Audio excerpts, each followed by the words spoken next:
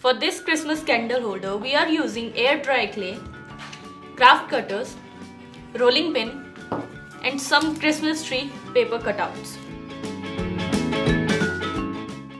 First we are going to create a small cup to place our candle in.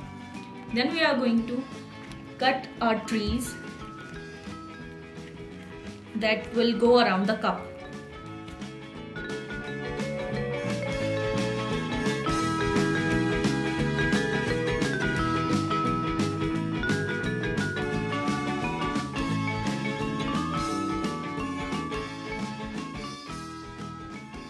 Once you have a round saucer type structure, just trim little bits from the side to make a plate where you will attach your trees.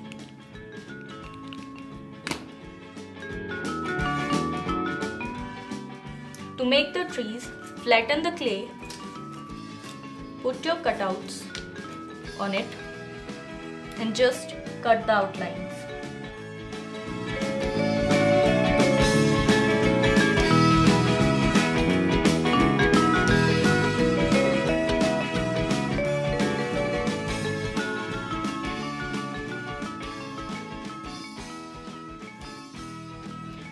Once you have the cutouts, just make sure to smoothen some rough edges.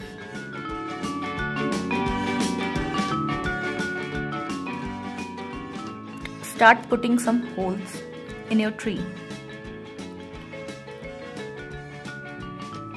These holes will allow to filter out your candle light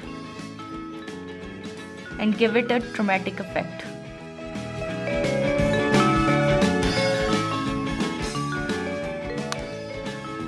Once our holder and trees are ready, we are going to attach our trees onto the saucer shape that we have created on the bottom. Now you will notice that your tree is not holding up, so you might want to add a structure behind it keep it straight up.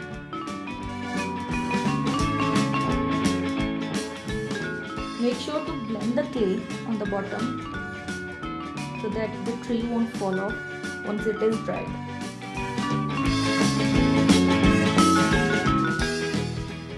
This is how your candle holder should look. Now we are going to leave it for 24 hours to dry and then come back and see how it looks. After 24 hours, here is our Christmas candle holder.